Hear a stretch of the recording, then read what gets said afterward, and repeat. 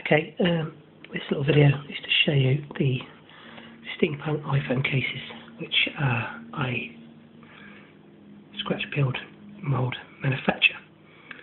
Um, the eventual result can be something like this. This is kind of the unweathered version. Um, this is for your iPhone 4S.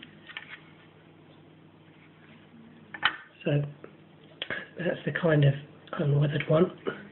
What we also have, these are work in progress because they're not quite there, is the weathered one.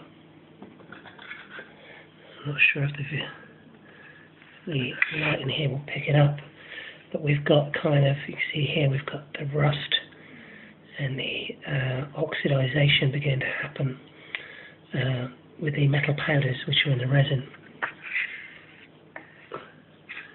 So here we have a mold. Um, this is a uh, platinum silicon, a very high grade silicon, very expensive silicon. And this is um, what we see here, the feed hole where the resin goes in. And we have risers on the other side, just where the resin and the air is pushed out. They also run through a vacuum, a vacuum casting process. That is, any air is removed prior to um, the process happening. So we have a mould here. I shall remove this from the mould. We do it one hand. So if we look into the mould, we can see, kind of see the detail there. So this silica is very good for picking up everything uh, if you make a mistake, if you scratch it, you'll see it in the silicon. So it's very important to try and um, be like a surgeon really.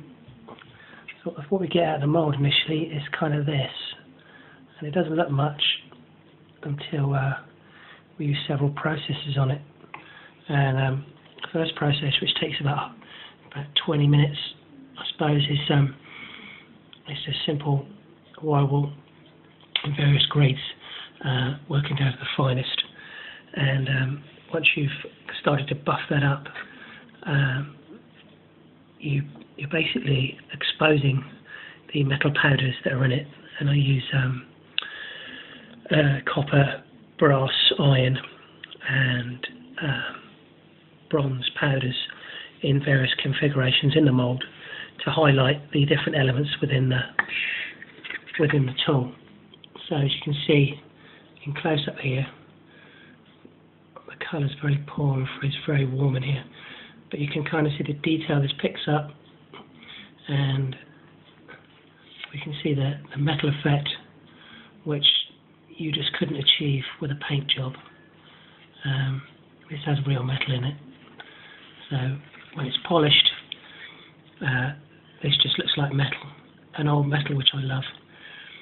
Um, what I also like, some people prefer this uh, the simple unweathered version, which is purely um, just a polish up after the initial. Inside we have um, this point is where the riser goes in, uh, feed goes in, and this risers will be along here.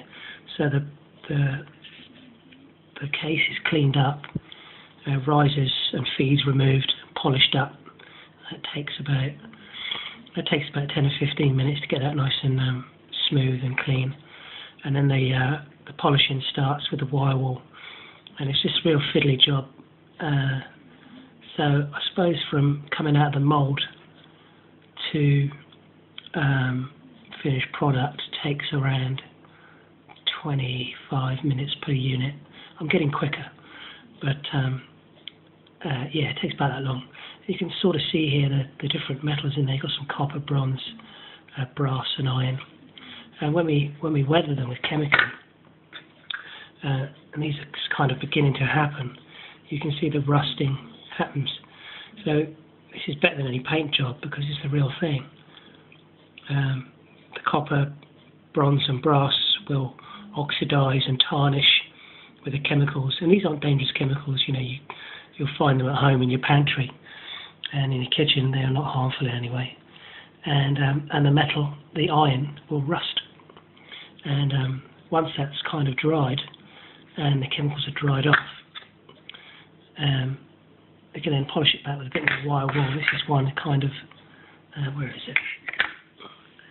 One in early stages somewhere.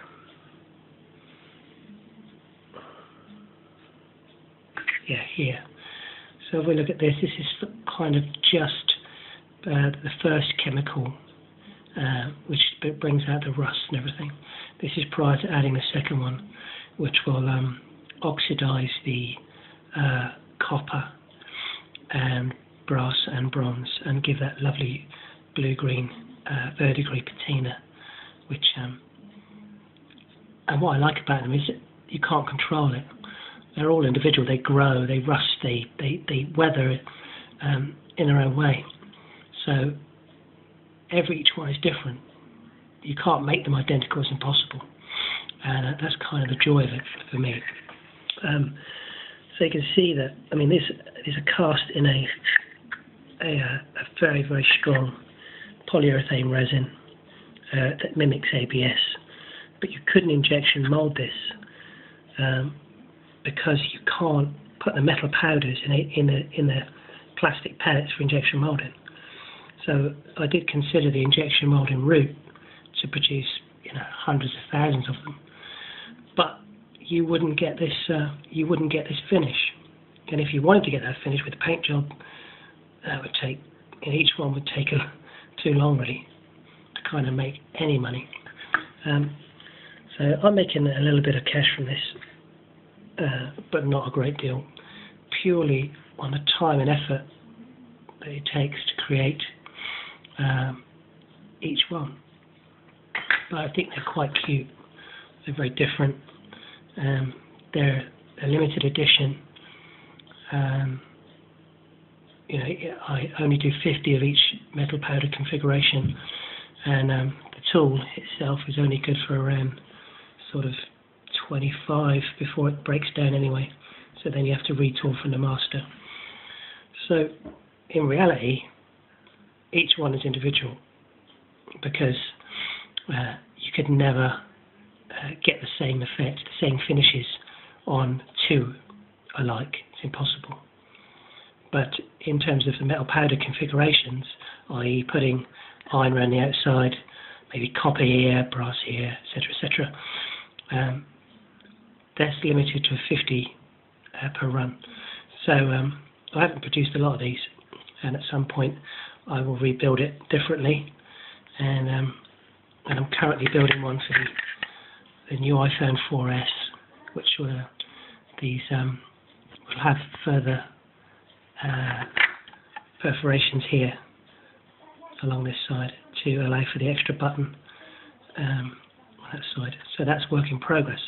Also, also doing them for the um, the BlackBerry and the HTC. Um, I hope you like them. Um, I had a lot of fun making them, and uh, they're available on eBay. Just uh, search for steampunk iPhone case, and uh, hope to see you soon. Bye.